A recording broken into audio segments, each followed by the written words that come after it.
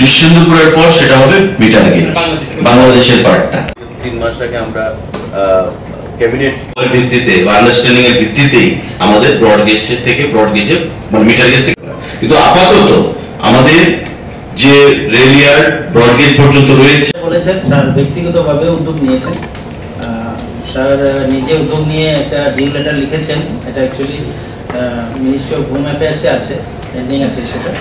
তো ministry of home অ্যাফেয়ার্সের একটা team গত দশ তারিখে অলরেডি এমবিবি এয়ারপোর্টে ভিজিট করে গেছেন। তো এখন আশা করা যাচ্ছে এই ভিজিটের পরে তারা গিয়ে হয়তো এটা ক্লিয়ারেন্স করে দেবে। আমরা আশা করছি। আর মিনিস্টার স্যার অলরেডি একটা ডিল লেটার লিখেছেন হোম ডিপার্টমেন্টে প্লাস ওনাদের ভিজিট এখন কয়েকদিন মাত্র অপেক্ষা করতে বাংলাদেশের দিক থেকে কোনো সমস্যা নেই? না বাংলাদেশের দিক থেকে কোনো সমস্যা নেই। আমাদের এখানে ইমিগ্রেশন সেন্টার থেকে সমস্যা। হ্যাঁ।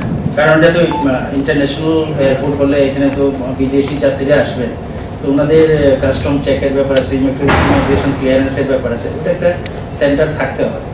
ওই দিক ওইটাই। কাস্টমটা হয়ে গেছে শুধু ইমিগ্রেশন আমাদের বাকি। তাও এখন ফাইনাল স্টেজে আছে। মিনিস্ট্রি থেকে ডেলিগেশন টিম এসে ভিজিট জানাই নমস্কার জানাই। আজকের এই পরিবহন দপ্তরের তরফ থেকে যে সাংবাদিক বৈঠক আহ্বান করা হয়েছে, আপনারা নিশ্চয়ই অবগত আছেন যে দায়িত্বভার গ্রহণ করার পর পরিবহন মন্ত্রী হিসাবে গত পরশুদিন নয়াদিল্লিতে ভারত সরকারের রেল দপ্তরের মন্ত্রী অশ্বিনী বৈষ্ণবের সঙ্গে আমি ব্যক্তিগতভাবে সেখানে মিলিত হই। আমাদের রাজ্যে পরিবহন সংক্রান্ত কিছু স্বার্থ সংশ্লিষ্ট ব্যাপার নিয়ে। এই প্রেস মিটে শুরু করার আগে বিস্তারিতভাবে যারা আমার সঙ্গে রয়েছেন, আমি পরিচয় করিয়ে দিচ্ছি। এডিশনাল সেক্রেটারি আমাদের commissioner transport department Subrata Chowdhury এবং আমার ডান দিকে N R Das under secretary deputy secretary transport department মাননীয় রেল দপ্তর, আমাদের ডোনার মিনিস্টার, ভারত সরকার, শ্রী কিষাণ রেড্ডিজিও ত্রিপুরা ভ্রমণ করেছেন ভিজিট করেছেন, এবং নিশ্চিন্দপুরে আমাদের যে বাংলাদেশ এবং ভারত দুদেশের মৈত্রী সম্পর্ককে আরও সুদৃঢ় করার জন্য এবং আগামী দিনে ব্যবসা বাণিজ্যের দিক থেকে নতুন দুয়ার খুলে দেওয়ার জন্য যে আখাউড়া রেলপথ তৈরি হচ্ছে, সেটা পরিদর্শন করেছে। ইলকন যে কোম্পানি, এটা একটা পিএসইউ রেল দপ্তরের অধীন। ভারতের অংশটা প্রায় সাড়ে বারো কিলোমিটার কাজ ইলকন করছে। এবং বাংলাদেশের যে রেলওয়ের কাজটা সেটা করছে ট্যাক্সমাকো রেল দ্রুত গতিতে কাজ চলছে এবং আমরা আশা করছি আগামী সেপ্টেম্বর মাসের মধ্যে এই বহু প্রতীক্ষিত আমাদের দুদেশের মধ্যে সম্পর্ককে আরও সুদৃঢ়, সাবলীল করার জন্য যে বহু কাঙ্ক্ষিত রেলপথ, সেটা সেপ্টেম্বরের মধ্যে সম্পন্ন হবে এবং আমাদের দুদেশের জন্য এটা উন্মুক্ত করে দেওয়া হবে।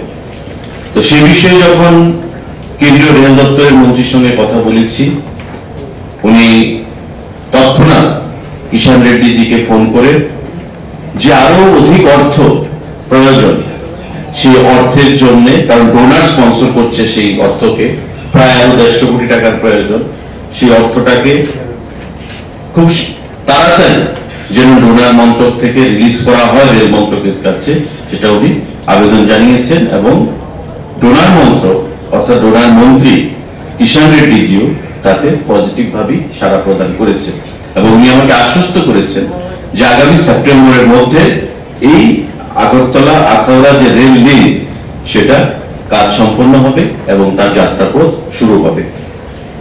Belonia, India to zero point অর্থাৎ ইন্দো বাংলাদেশের যে বর্ডার সেখানে আমরা বলেছি, আমাদের দাবি ছিল, বা আমি সেগুলিকে তদবির করেছি ওনার সঙ্গে আলোচনার মাধ্যমে, যে আমাদের যে বেলুনিয়া বেলুনিয়া থেকে ফেনী পর্যন্ত, অর্থাৎ যে জিরো পয়েন্ট আপনার একটা চলছে এখানে কাজ নিশ্চিন্দপুরে, তারপর বাংলাদেশ, বাংলাদেশের পার্টটা দেখছে, বাংলাদেশ টেক্সমার্ক রেল, এবং আমাদের ইন্ডিয়ার পার্টটা দেখছে ইরকন কোম্পানি রেলের আন্ডারে।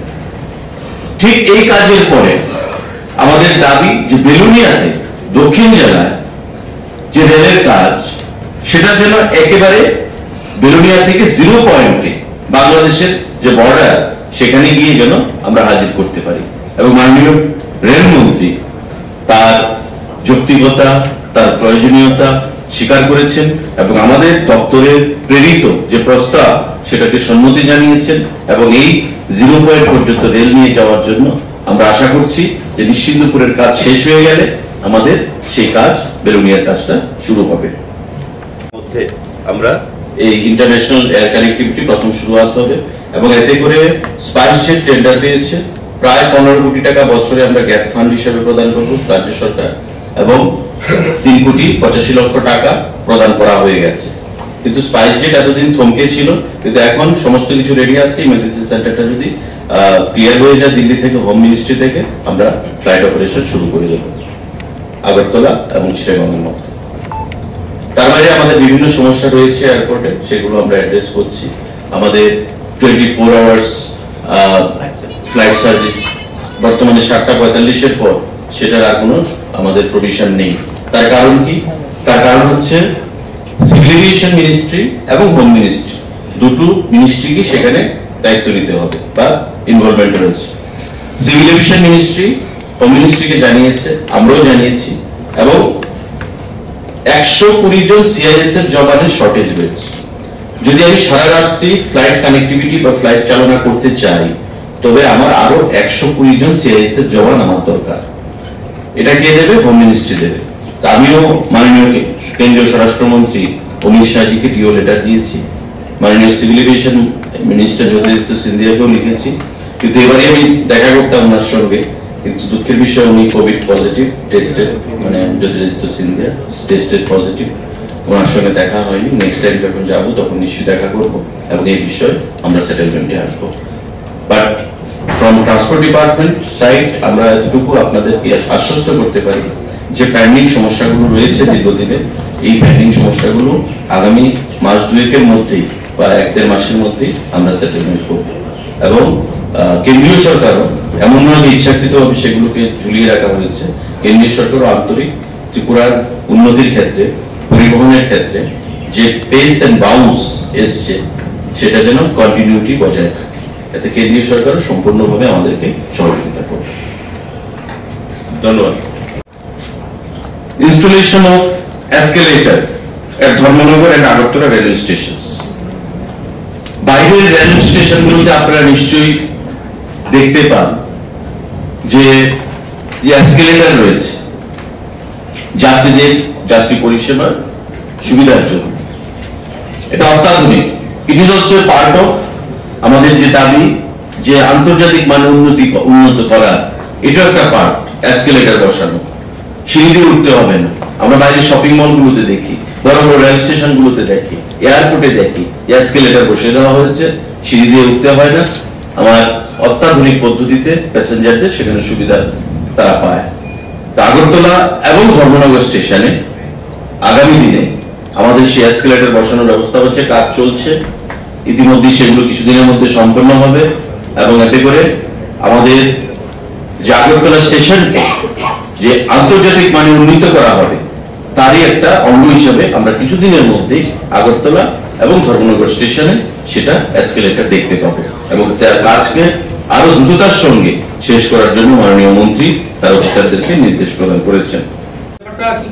এটা যেখানে থমকে ছিল এডিশনাল সেক্রেটারি আছেন উনিও বলবেন। আমি যতটুকু ইনফরমেশন কালেক্ট করেছি, আপনারা জানেন যে স্পাইস জেট টেন্ডারটা পেয়েছিল। পনেরো কোটি টাকা প্রায় বছরে তাদেরকে ক্যাপ ফান্ড হিসেবে দেওয়ার কথা। এর মধ্যে তিন কোটি টাকার উপর আমরা পেমেন্টও করে দিয়েছি। Three point eight five crore আমরা পেমেন্টও করে দিয়েছি। ইমিগ্রেশন নিয়ে একটা সমস্যা ছিল সেটাও অন দ্য অফ সেটেলমেন্ট এটা হয়ে যাচ্ছে। তার বাইরে আমি এডিশনাল সেক্রেটারিকে বলব সে বিষয়ে আরেকটু আপনাকে আমাদের ইন্ডিয়ান সাইডে এইটি ফাইভ পার্সেন্ট কাজ কমপ্লিট হয়ে গেছে। সাড়ে বারো কিলোমিটারের মতো। এবং বাংলাদেশের সাইডে প্রায় সেভেন্টি থ্রি পার্সেন্ট কাজ কমপ্লিট হয়েছে। যুদ্ধকালীন তৎপরতায় সেখানে কাজ চলছে। আমি আহ্বান- জানিয়েছি যে আমাদের রাজ্য সরকার থেকে এখানে এডিশনাল সেক্রেটারি সাহেব আছেন। আপনাদের যদি কোনো প্রশ্ন থাকে, পরবর্তী সময়ে আপনারা করবেন।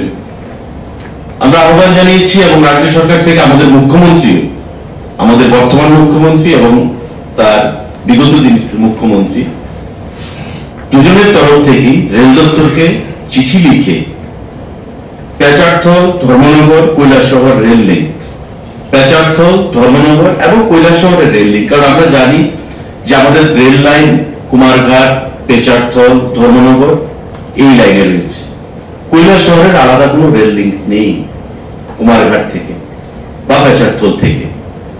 আমাদের রাজ্য সরকার মাননীয় বর্তমান মুখ্যমন্ত্রী এবং পূর্বতন মুখ্যমন্ত্রী দুজনেই এই রেল লিঙ্ক তৈরি করার জন্য আন্তরিকভাবে রেল দপ্তরকে লিখেছেন।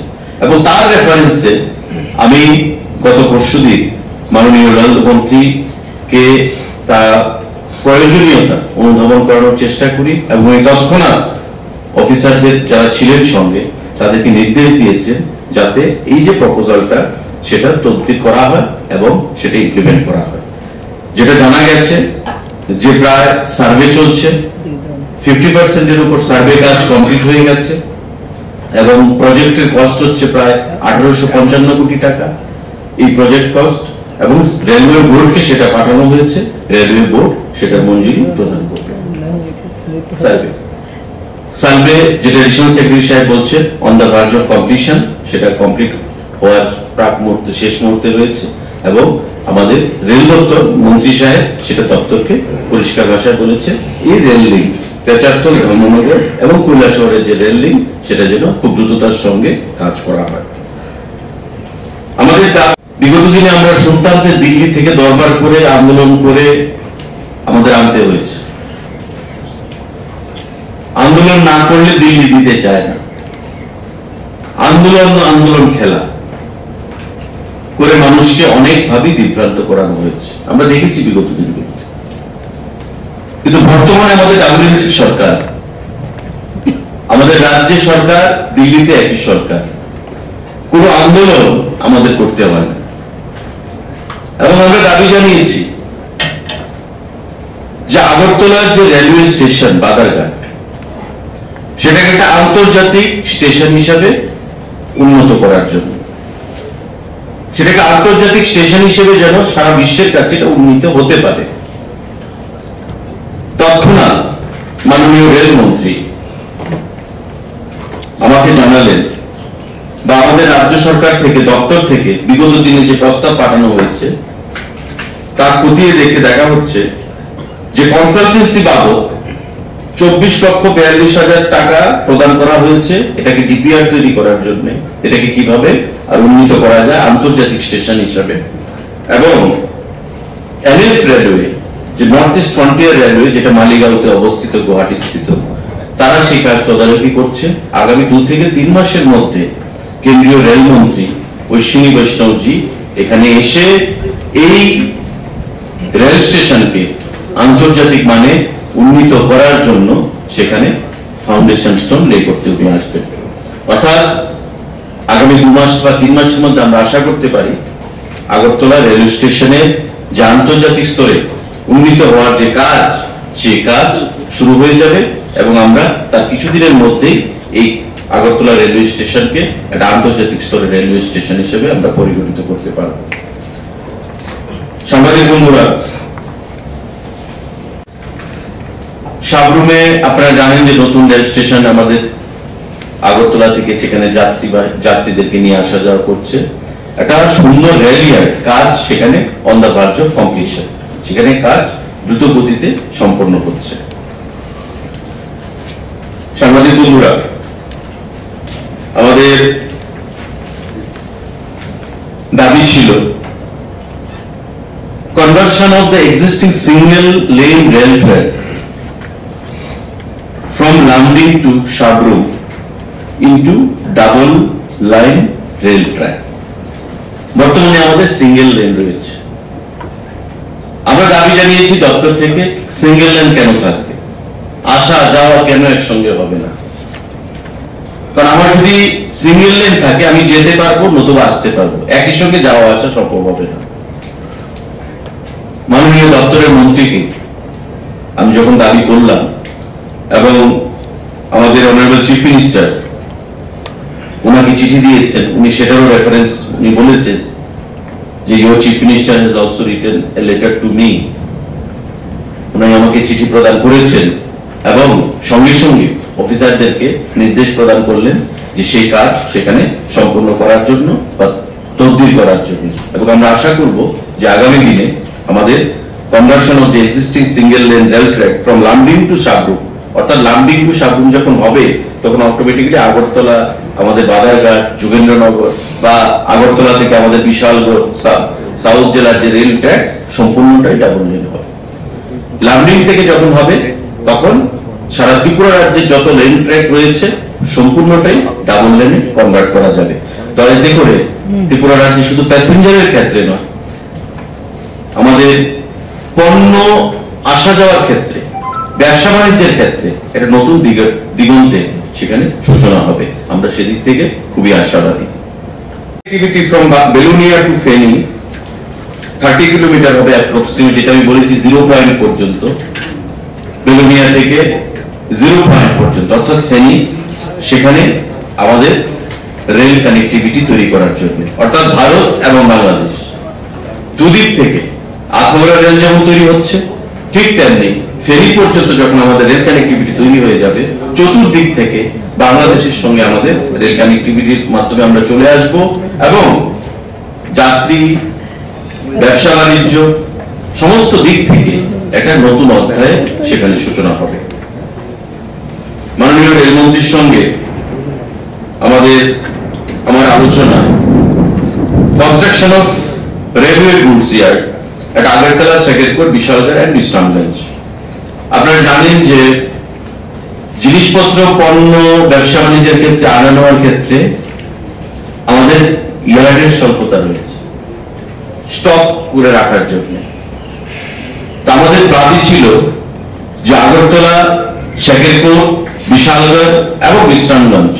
এই কিছু জায়গার মধ্যে যাতে গুডস ইয়ার্ড সেখানে তৈরি করা হয় এবং মাননীয় মন্ত্রী তাতে সম্পূর্ণভাবে সহমত পোষণ করেছেন। এবং আমাদের এই দাবিকে যেন অতি সত্বর সেখানে পূরণ করা হয়, তার অফিসারদেরকে দপ্তরে সেটা নির্দেশ প্রদান করেছেন। তো এগুলো দিল্লিতে আমি মাননীয় রেলমন্ত্রী অশ্বিনী বৈষ্ণব আমাদের খাদ্য পরিবহন food and civil supplies consumer affairs দপ্তরের মাননীয় মন্ত্রী পীযূষ গোয়েল, তাদের সঙ্গে মিলিত হয়ে এবং মাননীয় রেলমন্ত্রীর সঙ্গে আমরা যে দাবি দেওয়া বা কি আলোচনা হয়েছে সেই বিষয়গুলো সাংবাদিক বন্ধুদের মাধ্যমে আমাদের রাজ্যবাসীর উদ্দেশ্যে আমরা তুলে ধরলাম আজকের এই সাংবাদিক বৈঠক থেকে। আপনাদের যদি কারোর কোনো প্রশ্ন থাকে, তবে সেই বিষয়ে সেটা আপনারা করতে পারেন সাংবাদিক বন্ধুরা।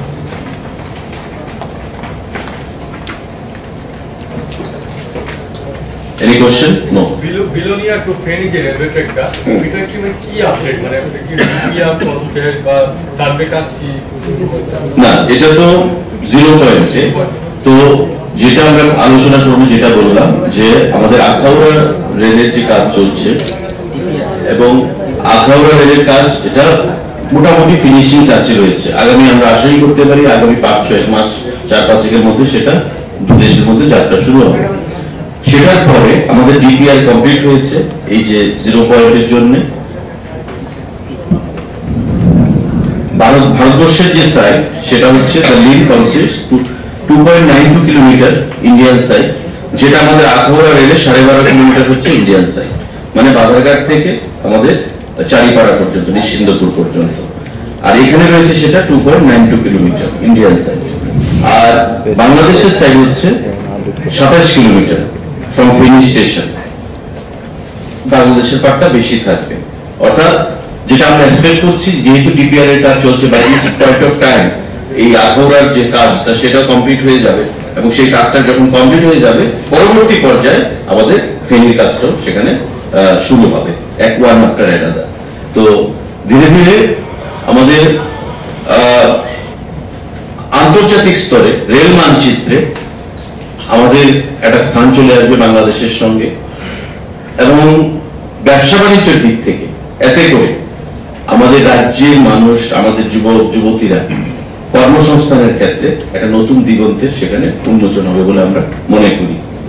তো রেল দপ্তর ডোনার মিনিস্টার, আমাদের রাজ্যের মাননীয় মুখ্যমন্ত্রী, আমাদের সাংসদগণ এবং আমাদের পরিবহন দপ্তর, সবাই আমরা যৌথভাবে এই কাজটাকে করতে হবে। এবং যৌথভাবে মিলেই আমরা আগামী দিনে রাজ্যের উন্নয়ন করব। এই কটি কথা বলার জন্যই